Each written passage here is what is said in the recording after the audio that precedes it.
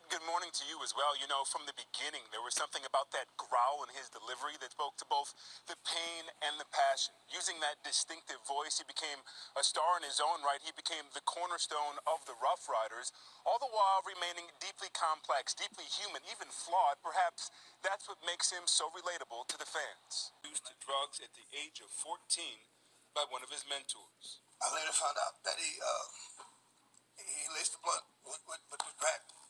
Why would you do that to a child? Correct. And, and like like thirty, you know what I'm saying? And he, and he knew how I looked up to him. Yeah. He knew how I looked up to him. You know what I'm saying? And like, why would you do that to somebody who looks up to you? In 2019, he checked himself into rehab, telling his What is up, YouTube? It's Jay Coffee Talk back with an update regarding DMX. And, um, you know, you heard the footage being played there. And in my live stream last night, we were all talking and reflecting on DMX. And um, you heard what they said in that footage there about X, the fans, all of us, you know, that love the music, that love hip hop, or in the case of DMX, so many people who aren't even necessarily hip hop fans love X's music, love X. And uh, that's what we were talking about is how he was so relatable. You know what I mean? That he was just so real, always himself, you know? We talk so often about music artists not changing up or selling out. And I, I don't believe X ever did that. And I don't believe that X ever changed who he was at all as far as uh, the person, the, the, the good characteristics that he had. And I, I just, you know, wanted to tap in and make this video and say, uh, you know, that's, I feel like why the people love DMX so much. Now, you also heard in that footage there, um, you know, where they were speaking about X, uh, you know, at the young age of 14, being in the streets, in a, a, big homie, so to speak, that he looked up to, laced the blunt. And um, that's just a horrible thing, man. And it just kind of shows that DMX always had the deck stacked against him, but always worked hard, didn't give up, and prevailed, you know. And um, right now, I just got my fingers crossed and, you know, saying my prayers. And that's kind of wild, too. The Ruff Ryders symbol, I believe, is almost like fingers crossed almost, you know, like in solidarity. Isn't that wild? Like and we all have our fingers crossed right now and we're all saying our prayers, just hoping that X can get through this.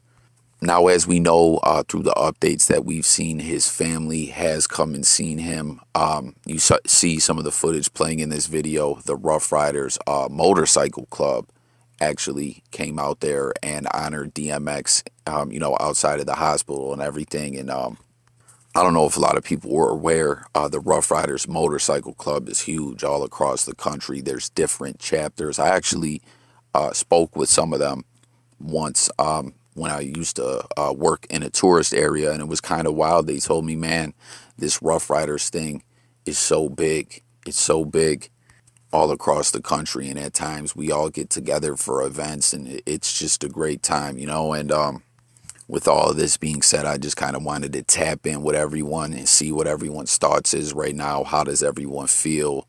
Um, I don't know if anyone is kind of feeling a little confu confused as I am. Um, we spoke a little bit about it in my live stream. Um, if you guys didn't see the live stream, link will be pinned in the comments on this. I'm just very confused how that lawyer put out that bad information. That was is bizarre the more that I think about it. Like how did he mess that up?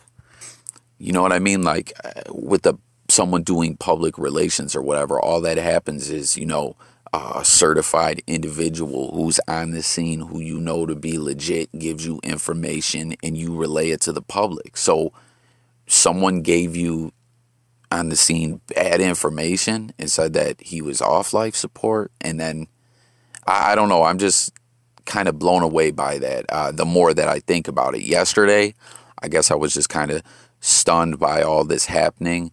That when that happened, um, you know, because I kept relaying that to people that were saying that, like, no, apparently that that was bad information. Now I'm really kind of thinking into it more, and I'm I'm just I'm just kind of at a loss as to how that could happen. You know what I mean?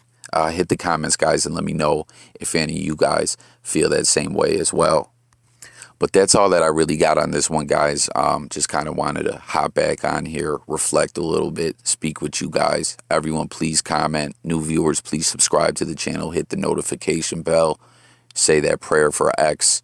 Um, you know, as we've stated uh, before, like if, if anyone could fight through this, it's got to be X, man. This guy has been through a lot of things where a lot of people would have given up. And we know um, in, in that beginning footage that I played for you guys that spoke about him going to rehab uh, after the Fed time, X had been on the straight and narrow, and you could see it, and he was focused. So um, we know that takes a lot of strength as well. And, um, you know, whatever it's like being in that state, almost kind of in between worlds, fighting for your life. We know X is in there giving it his all. I truly believe that. Y'all hit the comments. Uh, thank you for watching. I'll catch you guys later. We might do another live stream tonight. Like I said, I look to do those lives more like three, four times a week. I'm out of here, guys. Get well, X. Beat this thing, man.